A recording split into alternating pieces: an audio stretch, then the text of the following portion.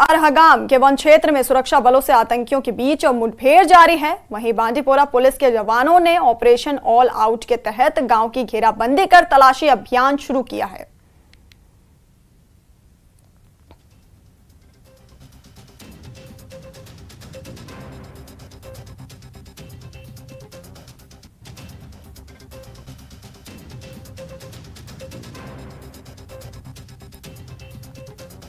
तो बांदीपुरा के अरहगाम के वन क्षेत्र में सुरक्षा बलों से आतंकियों की मुठभेड़ जारी है।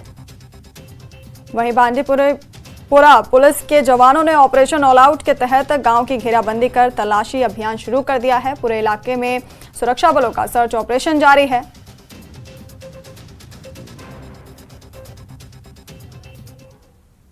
सुरक्षा बलों की एक संयुक्त टीम ने हंदवाड़ा के कचरी गाँव से हिजबुल मुजाहिदीन का एक आतंकवादी को गिरफ़्तार करने का दावा किया है। आतंकवादी को कथित तौर पर इलाके के टारगेट किलिंग का काम सौंपा गया था। एसएसपी हंदवाड़ा दाऊद अयूब ने बताया कि विशेष सूचना पर कार्रवाई करते हुए सेना और हंदवाड़ा पुलिस द्वारा एक संयुक्त अभियान चलाया गया, जिसके दौरान आतंकवादी को गिरफ़्तार किया गया। पुलिस ने फौज के साथ एक मुश्तरका कार्रवाई में एक मिलिटेंट की गिरफ्तारी अमल में लाई यानी कि एक बड़ी कार्रवाई हंदवाड़ा पुलिस ने मुश्तरका तौर पर फौज के साथ की है। एक मिलिटेंट की गिरफ्तारी उसके कब्जे से भारी मकदार में असला बारूद भी बरामद किया गया। पुलिस जराया के मुताबिक मिलिटेंट को टारगेट किलिंग का टारगेट मिला था और पाकिस्तान के हैंडलर से उसके रबते बताए जाते थे। इस इस वक्त हमारे साथ बरह रास्त मौजूद हैं। एसएसपी हंदवाड़ा दाऊद अयूब उनसे ही जानने की कोशिश करेंगे कि आया मामला क्या है किस तरह की बड़ी कार्रवाई का पुलिस दावा कर रही है। एस साहब आपने कहा कि एक मिलिटेंट जो है वो पकड़ा गया है। क्या इसके पास क्या खास मंसूबा? कल हमें इंफॉर्मेशन मिली थी कि एक टेररिस्ट है उसके पास वेपन्स है और वो ताक में है कि कोई इंसिडेंट करने वाला है। तो आर्मी के साथ जब हमने ऑपरेशन लॉन्च किया बंदे को पकड़ा है टेररिस्ट जो आइडेंटिफाई हुआ है यही जाकिर है तो उससे हमने एक पिस्टल, दो उस मैगजीन पिस्टल मैगजीन और एक ग्रेनेड। बाकी ये कंटिन्यूसली एक टेरर हैंडल के टच में था तो जहूर अहमद मीर तो इसको कुछ टारगेट दिया था, सॉफ्ट टारगेट किलिंग्स का। तो बर कार्रवाई से हमें लग रहा है कि वो टल गया। आपको लग रहा है कि इससे और भी नेटवर्क जुड़े होंगे जिसका पुलिस पता लगाने की कोशिश कर रहा है? जिस तरह आपने कहा कि हमने एफआईआर दर्ज किया है तहकीकात शुरू की है क्या कोई बड़ा नेटवर्क भी जो है बेनकाब होने का इम्कान है? इन्वेस्टिगेशन चल रही है जो भी आगे आ जाएगा हम आपके साथ शेयर कर लेंगे। जम्मू कश्मीर के रियासी में हुए आतंकी हमले की जाँच अब एनआईए करेगी। एनआईए ने मामले को अपने हाथ में ले लिया है और गृह मंत्रालय के आदेश के बाद यूएपीए के तहत एक नई एफआईआर दर्ज कर ली है।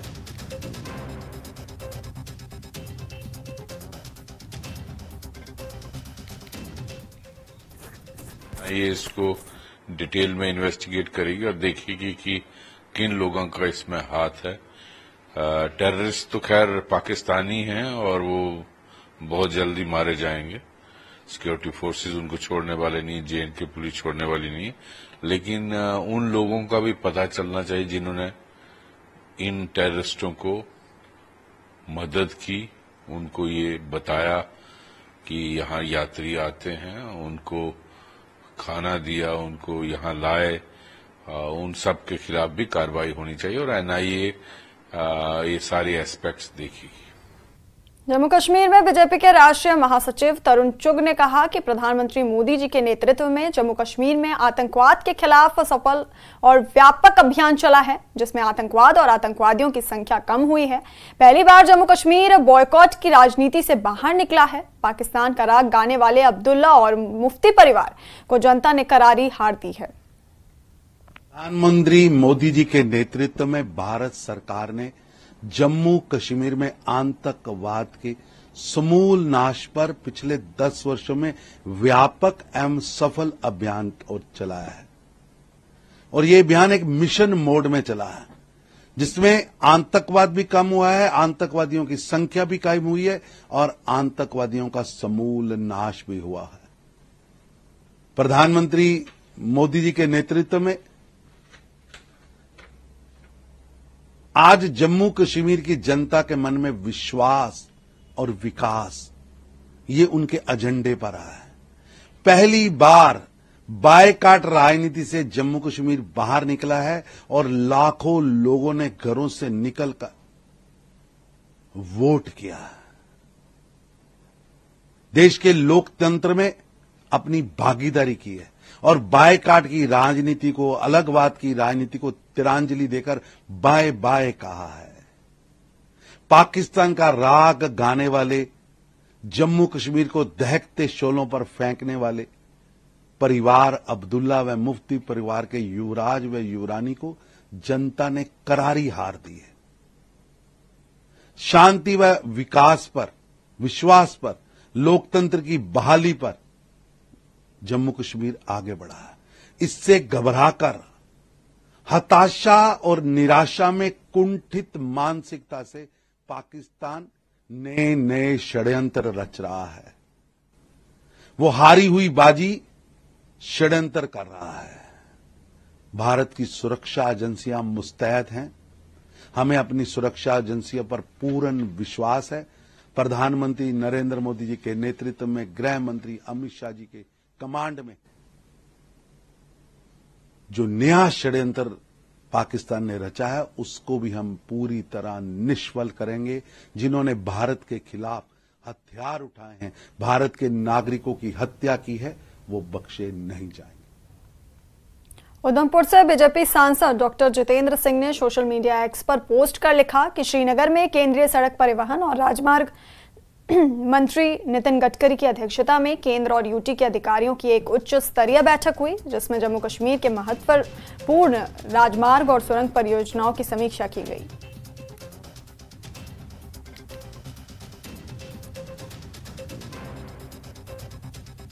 और जम्मू कश्मीर के दिग्गज नेता और नेशनल कॉन्फ्रेंस के अध्यक्ष डॉक्टर फारूक अब्दुल्ला आगामी विधानसभा चुनाव में पार्टी के मुख्यमंत्री पद के उम्मीदवार हो सकते हैं। पार्टी के उपाध्यक्ष और पूर्व मुख्यमंत्री उमर अब्दुल्ला पहले ही घोषणा कर चुके हैं कि वो विधानसभा चुनाव नहीं लड़ेंगे। अब जम्मू कश्मीर में पार्टी और विपक्षी गठबंधन के सामने डॉक्टर फारूक अब्दुल्ला ही एकमात्र विकल्प हैं। दिलचस्प बात यह है कि फारूक अब्दुल्ला ने हाल ही में घोषणा की थी कि वो केंद्र शासित प्रदेश में अगला विधानसभा चुनाव लड़ेंगे। पार्टी के वरिष्ठ नेता और नेशनल कॉन्फ्रेंस के जम्मू प्रांतीय अध्यक्ष एडवोकेट रतनलाल गुप्ता ने भी इसकी पुष्टि की। अगर उमर चुनाव लड़ने से इंकार करते हैं तो डॉक्टर फारूक अब्दुल्ला पार्टी का नेतृत्व कर सकते हैं। उन्होंने दावा किया कि डॉक्टर फारूक अब्दुल्ला की जम्मू कश्मीर के विभिन्न हिस्सों में व्यापक लोकप्रियता है, इसलिए पार्टी कार्यकर्ता उन्हें मुख्यमंत्री पद के उम्मीदवार के तौर पर आगे बढ़ाने में खुशी महसूस करेंगे। उगला हो सकता है कि वो चीफ मिनिस्टर कैंडिडेट पार्टी की तरफ़ से बने। इस पर मेरे साथ बात करने के लिए हैं सीनियर नेशनल कॉन्फ्रेंस लीडर और जम्मू प्रोफेशनल प्रेसिडेंट पार्टी के एडवोकेट रतनलाल गुप्ता, इनसे मैं बात करूँगा। सर गुप्ता साहब ऐसी है कि उमर अब्दुल्ला कह रहे हैं कि मैं चुनाव नहीं लड़ूँगा। यूटी के इस माहौल में यूटी जब है तो चुनाव लड़ने का कोई मेरा फ़ायदा नहीं है। लेकिन ऐसी सूरत में क्या आपको लगता है कि डॉक्टर फारूक अब्दुल्ला एक विकल्प हो सकते हैं? देखिए, पहले तो मैं आपको मुबारकबाद पेश करूँगा कि आपने ये सोचा। और ये हकीकत है कि जम्मू कश्मीर के अंदर नेशनल कॉन्फ्रेंस की सरकार बनने जा रही है। ये नरेटिव एक बना हुआ है। अब सवाल ये है कि उमर साहब ने ये कहा है। देखिए, उमर साहब हमारे कायद हैं। उनकी राय है, अपनी राय है। बाकी नेशनल कॉन्फ्रेंस तो एक तहरीक है। इसकी सुप्रीम बॉडी जो है वो हमारी वर्किंग कमेटी है। वर्किंग कमेटी जो फैसला करेगी उस पर हर साथी को, चाहे हमारे बड़े से बड़े नेता हों, चाहे छोटे से छोटे हों उस पर हमें चलना पड़ता है, क्योंकि सुप्रीम बॉडी वो है। वो क्या फैसला लेंगे, वो उस वक्त पता चलेगा। दूसरी बात यह है कि बनना तो है चीफ मिनिस्टर, चाहे डॉक्टर साहब बनेंगे या उमर साहब बनेंगे, दो में से एक ने बनना है। तो ये तो मैं अगर उमर साहब नहीं इंटरेस्टेड है वो कहते हैं कि नहीं मुझे तो फारूक अब्दुल्ला साहब आपको लगता है कि ले पाएँगे अभी क्योंकि उनकी भी उम्र डली हुई है और या उम्र के मतलब जो है एज ज़्यादा है उनकी क्या वो तब भी आपको लगता है कि इसमें लीड कर सकते हैं? देखिए ये मैं समझता हूँ कि आपकी गलत फहमी है। जिस ढंग से पार्लियामेंट के चुनाव में डॉक्टर फारूक अब्दुल्ला साहब ने कंपेन की है वो तो शायद आज अगर 25 साल का कोई होगा, वो भी नहीं कर पाएगा। तो मैं समझता हूँ जिस ताकत के साथ और जिस बलबले के साथ लोग उनको प्यार करते हैं, सुनते हैं उनकी बात। उनकी बात सुनी जाती है। और आज भी जम्मू कश्मीर में अगर सबसे पॉपुलर जो नेता है, मैं कहता हूँ कि पूरे हिंदुस्तान के अंदर, वो फारूक अब्दुल्ला है, इसके अलावा नहीं है कोई भी। तो उनको तो हिम्मत वाले हैं, वो हमें दिलासा देते हैं। हम उनको देख के चल रहे हैं। वो एस्पिरेशन है हमारी, कारकुनों की। तो फारूक अब्दुल्ला साहब को आप मत अंकिए कि साहब उनकी एज इतनी है। उनका दिल देखिए। आज भी वो जवानों से ज़्यादा काम कर रहे हैं। तो इसलिए फारूक साहब तो कहीं भी किसी भी मोर्चे पे आप उनको लगाएँगे। तो आप ये कह रहे हैं कि अगर उमर साहब ने इंटरेस्ट नहीं लिया, दिलचस्पी नहीं ली as a chief minister candidate देखिए कैंडिडेट की बात कर रहे हैं हम तो क्या आपको लगता है कि फारूक साहब लीड कर सकते हैं कोलिशन को, यहाँ पे अपोजिशन कोलिशन को? देखिए, बिल्कुल मैं आपको कह रहा हूँ, पहले भी यहाँ जो हमारी इंडिया ब्लॉक है, इसकी कॉन्स्टिट्यूशन इसको बनाने के लिए जितना रोल फारूक साहब ने दिया है, इतना शायद ही किसी लीडर ने दिया हो। मैं समझता हूँ कि उनके रोल की वजह से ही हम एकजुट, एक मुठ हुए तमाम अपोजिशन पार्टी तो फारूक साहब तो इंडिया ब्लॉक को चलाने वाले हैं। ये तो बात ही छोटी सी एक जम्मू कश्मीर है, इसकी तो बात ही कोई नहीं। कल खुदा न खासा हमारी ये इंडिया ब्लॉक जीत जाता। तो फारूक अब्दुल्ला साहब का एक बहुत बड़ा रोल होता है यहाँ। ऐसी बात नहीं है।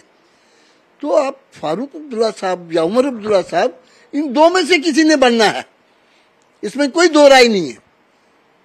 और नेशनल कॉन्फ्रेंस ने जीत के आना है। ये नरेटिव जैसे आप फरमा रहे हैं, ऐसे ही तमाम जितनी भी प्रेस है इस वक्त, तमाम नेशनल और इंटरनेशनल प्रेस ये कह रही है कि आज अगर चुनाव हो जाए, आपने देखा परफॉर्मेंस जैसे आप भी फरमा रहे हैं थर्टी फोर सीट पे हमने जीता है, बाकी तमाम पार्टियाँ पीछे रह गई हैं। और छत्तीस सीटों पे अभी और जो, जहाँ हमने कंटेस्ट नहीं किया, जहाँ हमारे कांग्रेस भाइयों ने किया, उन सीटों में भी हम जीत सकते हैं।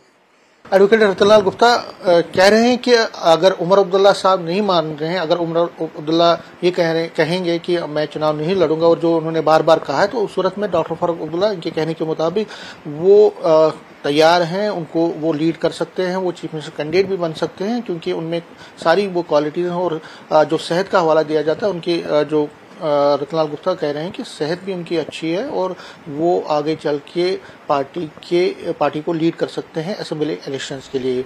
कैमरामैन बंटी के साथ समीर भट्ट न्यूज़ 18 जम्मू। और रुकेंगे एक छोटे से ब्रेक के लिए बने रहिए हमारे साथ।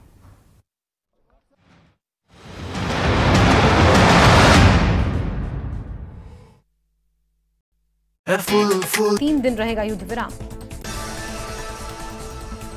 इक्वाडोर में ज़मीन खिसकने से मची तबाही, छह लोगों की मौत तीस से ज़्यादा लोग लापता। रियासी आतंकी हमले की एनआईए करेगी जाँच। रियासी में बस पर हुए हमले की जाँच करेगी एनआईए। एनआईए ने मामले में यूएपीए के तहत एफआईआर की दर्ज। रियासी बस हमले में नौ लोगों की गई थी जाँच गृह मंत्रालय ने मामले की जाँच एनआईए को सौंपी। श्रीनगर में दरगाह हज़रत बल में जाकर नेशनल कॉन्फ्रेंस के अध्यक्ष डॉक्टर फारूक अब्दुल्ला, उपाध्यक्ष उमर अब्दुल्ला ने की नमाज़ अदा। दोनों नेताओं ने लोगों को ईद की मुबारकबाद दी। श्रीनगर में दरगाह हज़रत बल में जाकर पीडीपी प्रमुख महबूबा मुफ्ती ने ईद की नमाज़ अदा की। महबूबा ने लोगों को ईद की मुबारकबाद दी। कुल्लू के खोखन क्षेत्र में दूषित पेयजल की सप्लाई से सैकड़ों लोग अचानक बीमार। 50 से ज़्यादा लोग इलाज करवाने के लिए पहुँच रहे अस्पताल। दूषित पानी पीने से लोगों को उल्टी पेट खराब और दस्त की समस्याएँ हमीरपुर में सड़क किनारे पैराफिट में टकराई कार। कार में लगी भीषण आग। कार सवारों को बाहर निकाला गया सुरक्षित। फायर ब्रिगेड ने आग पर पाया काबू। हिमाचल में जल संकट गहराया। राजधानी शिमला में पानी के लिए हाहाकार। मेयर सुंदर चौहान बोले, शहर को छह जोन में बांटकर होगी पेयजल सप्लाई। ऊना के बुधवार के जंगलों में पूरी तरह सक्रिय हुआ वन माफिया। खैर के दर्जनों अवैध मोर्चे किए गए बरामद। वन विभाग के अधिकारी बोले, मामले की होगी विस्तृत जाँच। सीतापुर में मालगाड़ी की बोगी में लगी भीषण आग। बोगी में रखा सामान जलकर राख। दिल्ली से वेस्ट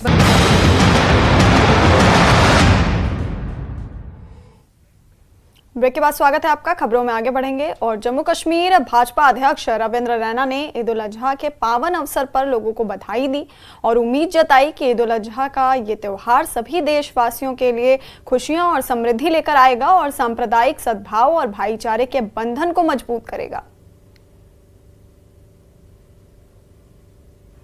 के मुकदस दिन की सभी दोस्तों को बहुत बहुत मुबारकबाद पेश करता हूँ। ये ईद उल अजहा का मुकदस दिन सारी दुनिया के लिए खुशियाँ ही खुशियाँ लाए। पूरी दुनिया के अंदर रहने वाले हर एक शख्स की ज़िंदगी में ऊपर वाले की रहमत से खुशियाँ ही खुशियाँ हों। अमन, शांति, खुशहाली और भाईचारा पूरी दुनिया में मज़बूत हो। हमारा मुल्क हिंदुस्तान के हर एक शख्स को इस मुकदस दिन की मुबारकबाद पेश करता हूँ। ये मुकदस दिन अमन, शांति, खुशहाली और भाईचारे की पहचान। ये मुकदस दिन हम सब की ज़िंदगी में ढेरों खुशियाँ लाए। मैं आज आप सबके लिए ये दुआ, ये प्रार्थना करता हूँ। एक बार फिर सभी दोस्तों को ईद उल अजहा के इस मुकद्दस दिन की बहुत बहुत मुबारकबाद। जम्मू कश्मीर वक्फ बोर्ड की चेयरपर्सन दरख्वाशा अंद्राबी ने लोगों को ईद की बधाई दी। उन्होंने कहा कि अमन से ईद की नमाज़ हुई, इससे बढ़कर हमारे लिए खुशी की बात नहीं है। इस दौरान उन्होंने आतंकी हमलों को लेकर कहा कि ये बॉर्डर पार से इसलिए आते हैं कि कश्मीर वाकई में जन्नत बन गया है, इसलिए लोग ये शरारतें कर रहे हैं। हमारे लोग अमन खुशहाली चाहते हैं। ईद की बहुत बहुत मुबारकबाद। अमन से ईद की नमाज़ हो गई हर जगह। वक्फ के जेर अहतमाम जितने भी दरगाहें जितनी भी श्राइन जा रही है, उनके यहाँ बहुत अच्छे से खुश असलूबी से ईद की नमाज़ हो गई। इससे बढ़कर हमारे लिए खुशी की बात नहीं है। जितने भी इंतज़ाम हुए थे, सिक्योरिटी के हवाले से और बाकी मैनेजमेंट के हवाले से, उसमें सारे लोग खुश हैं। आप यहाँ पे भी देखिए, ये मरकज़ है। यहाँ पे भी सभी के दिलों में एक वलवला है, एक जोश है जो ये चाहते थे। नबी अकरम सल्लल्लाहु अलैहि वसल्लम के दरबार में हर एक चीज़ आए और हम कोशिश कर रहे हैं वो सारी चीज़ें आए यहाँ पे और ये खूब से खूब तर बन जाए। देखिए शहर पसंद और बॉर्डर पार से जो भी शरारतें होती हैं उनको ये लगता है अब जम्मू कश्मीर वाकई में फिर से जन्नत का गहवारा बन गया है और इन बना रहेगा। ये इका दुका वाक़ात या शरारत पसंद जो ये कर रहे हैं शरारतें ये नहीं रहेंगी। हमारी सिक्योरिटी फोर्सेस और हमारी एडमिनिस्ट्रेशन इतनी मुस्तकम है और इतने मुस्तकम इरादे हैं कि यहाँ पे फिर से कोई आ, अमन में कोई खलल नहीं आएगी इन रहमान। और अब हमारे लोग अमन चाहते हैं, खुशहाली चाहते हैं। जम्मू कश्मीर का कोना कोना हर एक जगह से हमारे लोग अमन और खुशहाली चाहते हैं। छोटे बच्चों को ज़्यादा मोबाइल फ़ोन देना उनके मानसिक विकास को नुकसान पहुँचा सकता है। लेकिन इससे घबराने की ज़रूरत नहीं है, बल्कि बच्चों में आ रहे बदलाव को पहचानना है और रिहेबिलिटेशन सेंटर जाकर एक्सपर्ट की मदद लेनी है।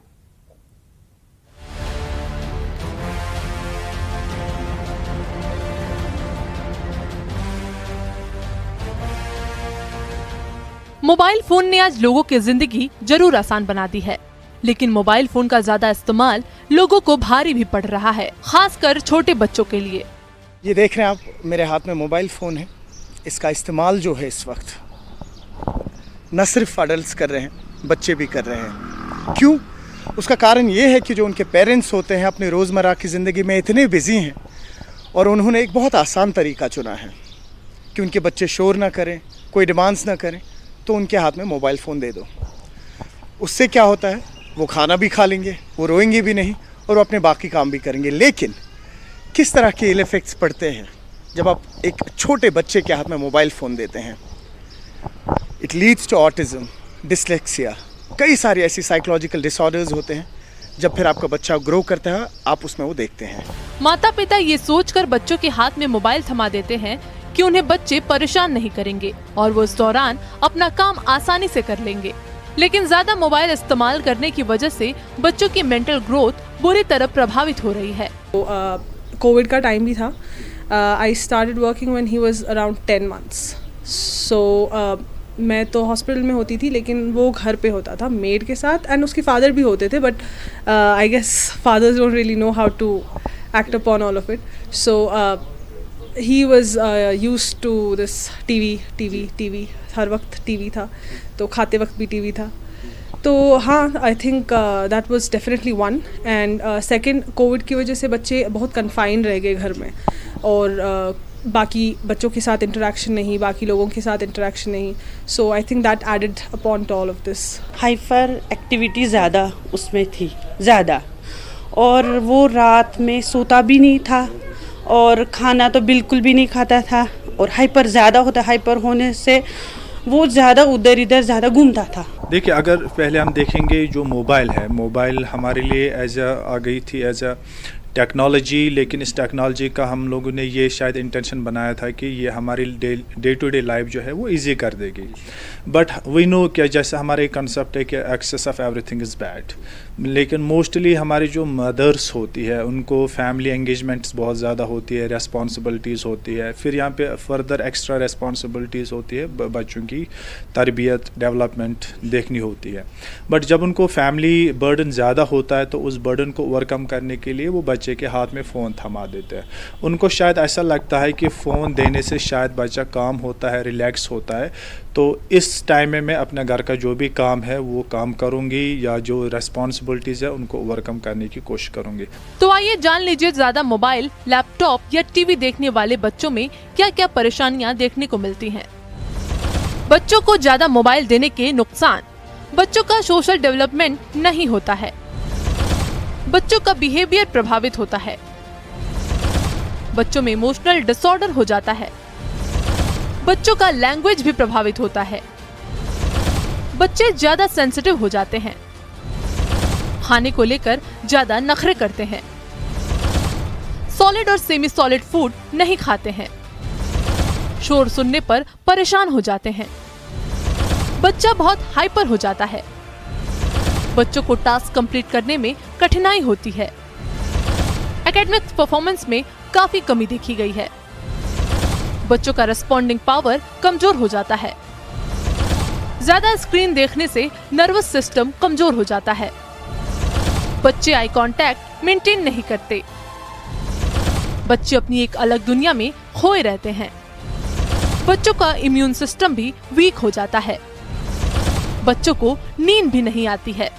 ज़्यादा मोबाइल देखने की वजह से ऐसी समस्या देखने पर अभिभावकों को घबराना नहीं चाहिए, बल्कि उन्हें किसी पास के रिहेबिलिटेशन सेंटर जाना चाहिए। मुझे आपसे बात करनी है फाइल्स भी अगर मैं अपने कानों में कॉटन लगाऊँगा, रुई लगाऊँगा then if I if you'll speak with me I am not able to hear anything जब तक मैं सुनूँगा नहीं I won't be able to express it तो सेम वे है कभी कभी बच्चों में हियरिंग लॉस होता, हो जाता है.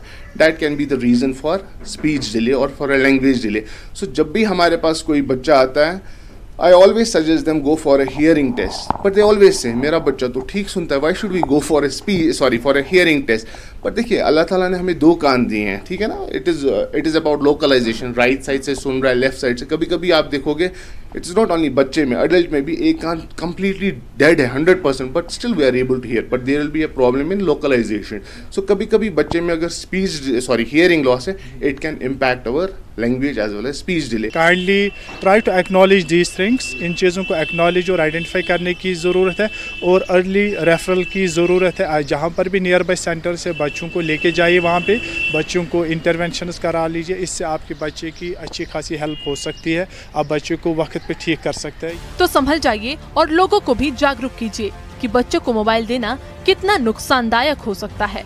मोबाइल फ़ोन का इस्तेमाल बेशक करें, जैसे यहाँ के डॉक्टर्स ने भी कहा, लेकिन उस मोबाइल फ़ोन के इस्तेमाल को लिमिट कर दें, ताकि आपका बच्चा जो है, उसका जो जहनी दबाव रहता है उस पर, वो कहीं ना कहीं कम हो। ऐसा ना हो कि अगर आप देर कर दें, बच्चे के हाथ में चौबीसों घंटे फ़ोन रखें, ताकि आपकी ज़िंदगी जो है या रोज़मर्रा के काम है, वो आसान हो पाए। नहीं आपको बहुत ज़्यादा प्रॉब्लम होगी। आपके बच्चे जो है, उनमें डिस्लेक्सिया हो सकता है, उनमें ऑटिज़म हो सकता है। न्यूज़ 18 के लिए जहांगीर अज़ीज़ के साथ में सरोज कफील। और बुलेटिन में फ़िलहाल के लिए इतना ही। बने रहिए हमारे साथ, देखते रहिए न्यूज़ 18 जेके नमस्कार।